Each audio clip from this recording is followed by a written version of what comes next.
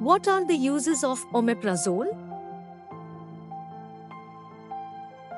Omeprazole has many uses and benefits.